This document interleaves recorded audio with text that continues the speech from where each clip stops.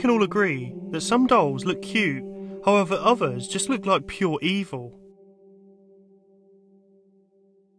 Some people out there claim to have recorded haunted dolls that seem to move in videos. Many of you may know that there are a lot of videos out there that have been faked. However, in this list, we're only going to be looking at some of the best. So prepare yourself. Here we're going to look at 5 haunted dolls caught on camera moving and spotted in real life. Let's begin. Number 5. The Angry Doll. In the footage you're about to see, a girl is given a pretty big doll as a gift. A doll which I think we can all agree we wouldn't like in our home. The girl talks in Spanish, presenting her newest toy. She then makes a comment saying the doll looks kind of ugly, and right when she says that, the doll moves its head, looks at her in the creepiest way. It's pretty disturbing, so here's the video. Number 4. The Girl's Evil Doll. What you're about to see is a mum filming her daughter playing with her new toy that she wanted. The girl seems to be fairly happy, and so does the mother seeing her daughter's positive reaction. However, what they are both missing is the evil looking doll in the background moving her arm gently towards the object in front of it. Prepare yourself because here's the video. What's his name? Lovable. Lovable. Sure his name isn't like Fred or Henry? I think Henry. Oh, it's so cute. Alright, well, you're going to be a good girl today since I bought you the toy? Yeah. Okay. Promise? Mm-hmm. Alright. Say bye.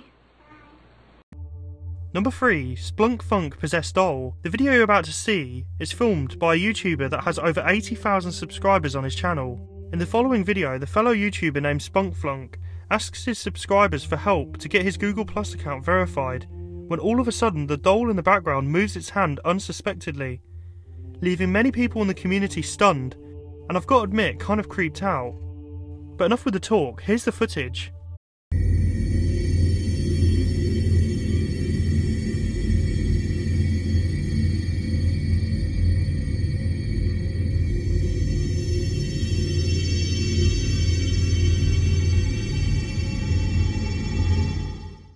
Number 2. The Nutcracker Doll. This next video shows a haunted Nutcracker doll that a family has had for over 400 years from Germany. A family member decided to put a camera in front of the Nutcracker to see if the doll was actually haunted. At the start, it all seems to be for laughs and giggles. After looking at the footage, they had very little to laugh about. Here it is.